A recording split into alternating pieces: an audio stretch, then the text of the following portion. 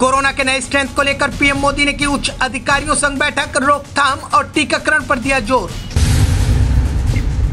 दक्षिण अफ्रीका में मिले कोरोना के नए वेरिएंट ने बढ़ाई टेंशन। तेज़ी से दूसरे देशों में फैल रहा कोरोना का नया वेरिएंट। यूएस ने भी दक्षिण अफ्रीका के लिए उड़ानों पर लगाई रोक।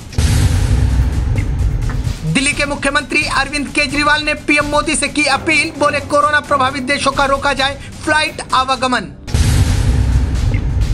प्रदूषण से बिगड़ते दिल्ली एनसीआर के हालात दिल्ली में प्रदूषण पर काबू पाने के लिए सभी डीजल और पेट्रोल चलित कमर्शियल वाहनों की एंट्री बंद। तीन दिसंबर तक जारी रहेगा प्रतिबंध।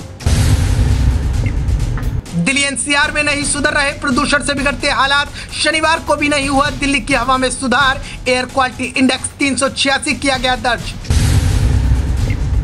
किसान आंदोलन का एक साल पूरा, लेकिन मांगे अभी भी अधूरी। दिल्ली की सीमाओं पर फिर शुरू हुई किसानों की लामबंदी, रणनीति तय करने के लिए आज संयुक्त किसान मोर्चा ने की बैठक।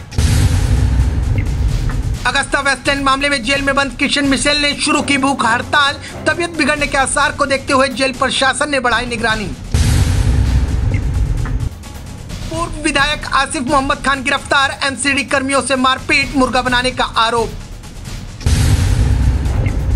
इंडिया न्यूजीलैंड के बीच पहले टेस्ट का तीसरा दिन आज भारत के स्कोर का पीछा करने मैदान में उतरा न्यूजीलैंड।